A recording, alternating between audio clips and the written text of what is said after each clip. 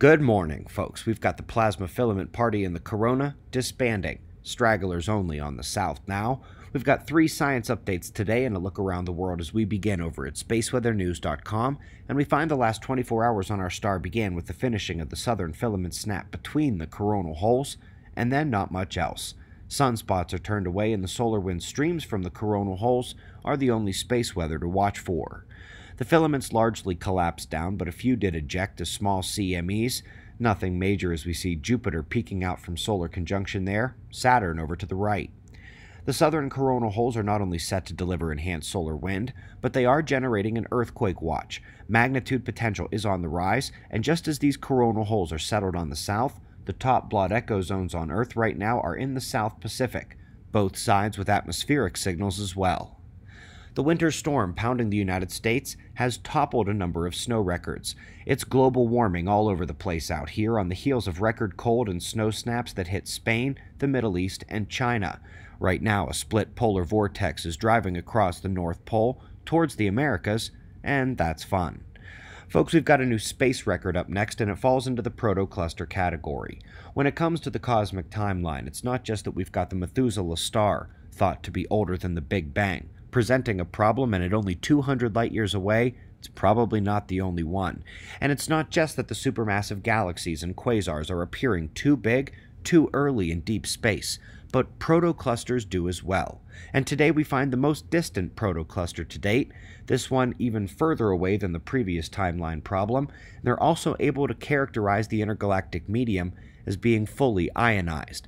This indicates the electric nature of the medium and everything that comes along with it, and tells us indeed that there were no islands in space back then either. Everything is connected. We're off next to look at the Met Office Hadley Ferrel and Polar Cell animation, and between the cells is where we find the jets. Today we're seeing a continuation of one of the most important solar forcing connections, and most impressively, they did it without using the solar particles, but they mimicked it by ramping up the UV in the model and saw changes within just 10 days, and absolute jet changes within one month. While this doesn't help the short term studies using flare energy on the hours to days time scale, it is a nice nod to the longer term forcing and the consistent correlation found between jet and vortex strength and solar activity.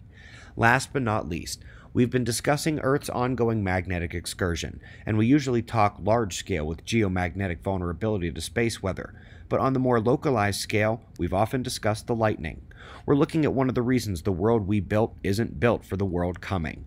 Most pipes and many other structures, even in our homes, are fine at modern levels of atmospheric electricity, but atmospheric electricity is changing, not only in amplitude and magnitude, but in the rate of shift, especially due to nearby weather.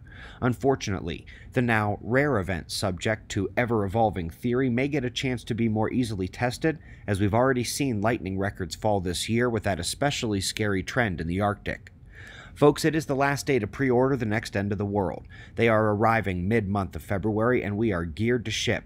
OTF.selz.com. We also have new hats there as well. For those looking at Observer Ranch unit membership and are hoping to visit next month, time is a ticking and it is a few day process at least to get everything squared away.